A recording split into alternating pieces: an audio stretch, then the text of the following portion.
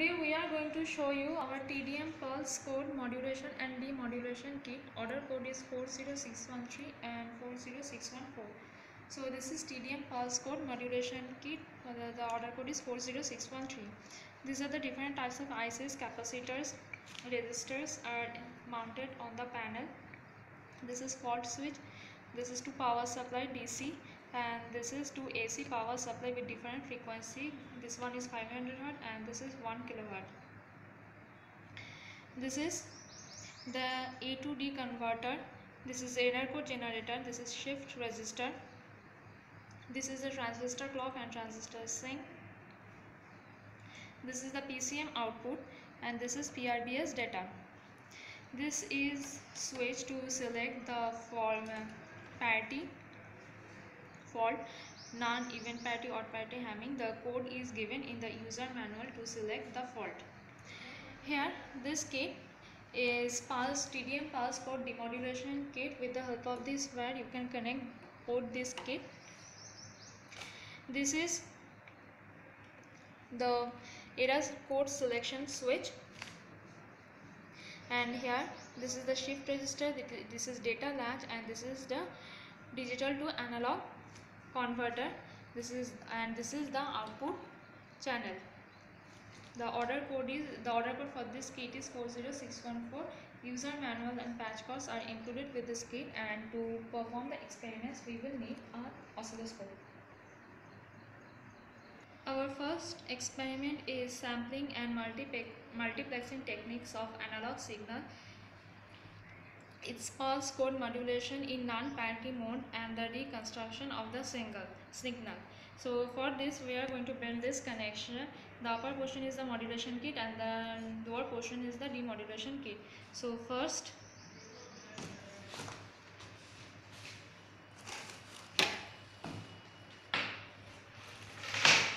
connect the AC 500 Hz to one channel that is channel 0 and we will connect the another AC to channel 1. Now connect transmitter clock to receiver clock. Here are the demodulation kit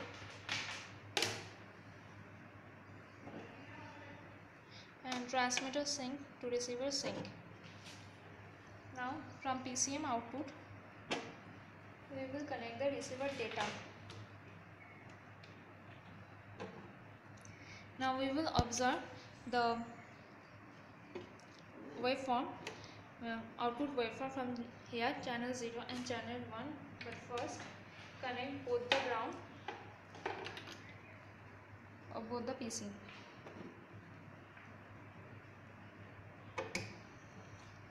turn on the kit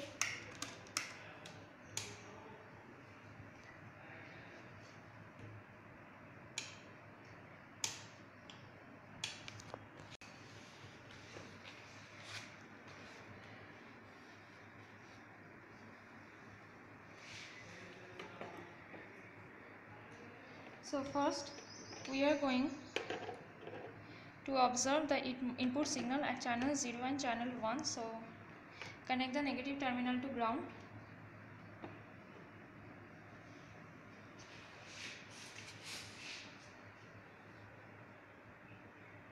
This is the input signal of 500 Hz. now we will test the sig input signal of 1 kilohertz. This is the input signal of 1 kilohertz now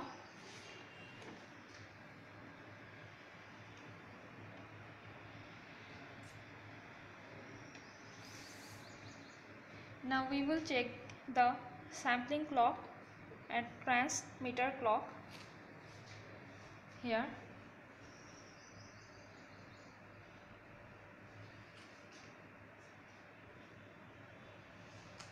And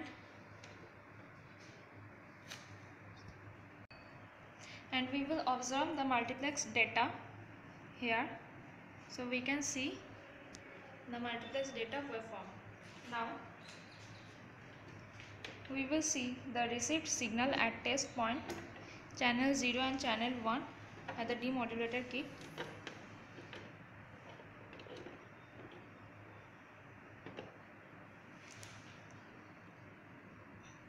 So this is the output signal of 5 of input signal of 500 hertz if we change the signal from here we can see there is change in the output signal similarly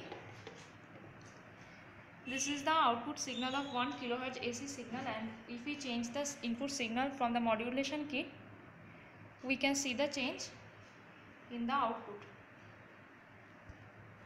Experiment is to study the principles of analog to digital and digital to, digital to analog conversion. For this we are going to build this connection here. So first connect DC1 to channel 0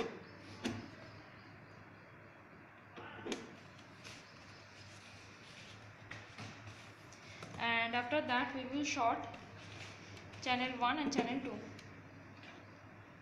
2 now connect the transmitter clock to receiver clock. Connect this to receiver.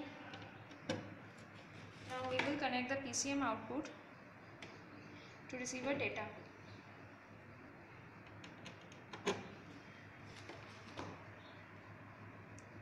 connect the ground of both the PCs and also make sure that all this that the fault switches are in normal position that is in off position and this parity parity selection switch are in none mode. That is all the all are in on position for both the kit now turn on the kit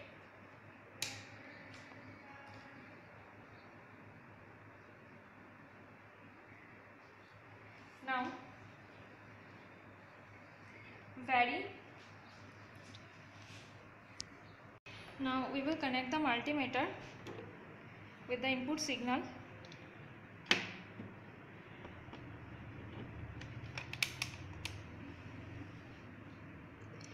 And we will vary this from 0 to 4.96 voltage that is the maximum voltage.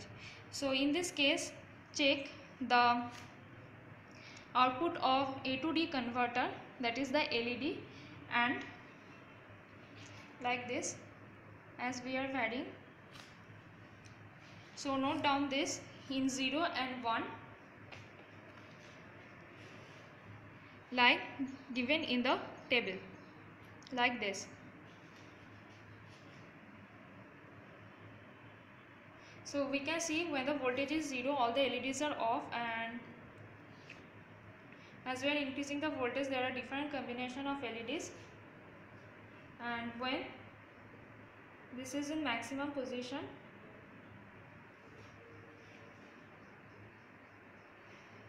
that is this is a 4 point at this voltage 4.86 all the LEDs are on.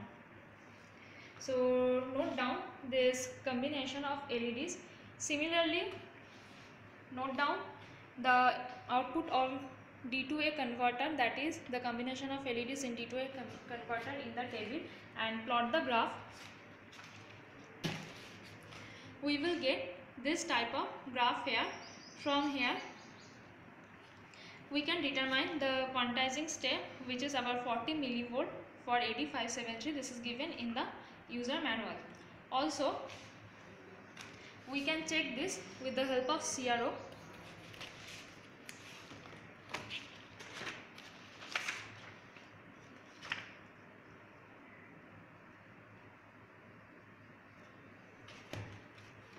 and you can also check the various signal on the test point on CRO. So this is the signal on transmitter clock.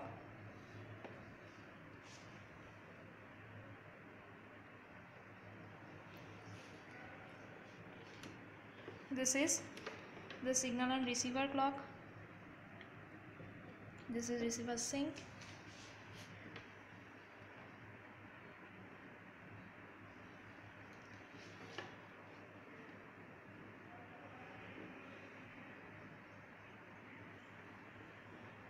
Here our next experiment is to study of error check code logic. For this we are going to build this connection here which is the exactly same of the previous experiment. So the aim of this experiment is study of error check code logic that is odd parity coding, even parity coding, Hamming coding. So first build this connection and select the parity selection to none like this. Now create a signal bit fault in the data by data switch using this switch and observe the status of the parity error. So observe the sequence of data bit on A to D converter, error code generator and shift register for 40613 for this kit and also on this kit we will observe the data bit combination on data latch, data uh, D to sorry digital to analog converter and parity error bit that is here. Now if we observe this we will get this type of combination. So you observe this, note it down and you can verify this with this table given here. Similarly, you can select define parity for odd parity select this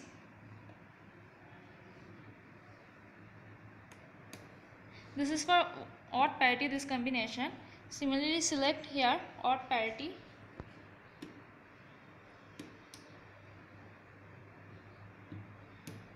this is odd parity combination and note down the data bit com combination on A to D converter, error code generator shift register and in this kit the data latch, the D to A converter and the error code generation.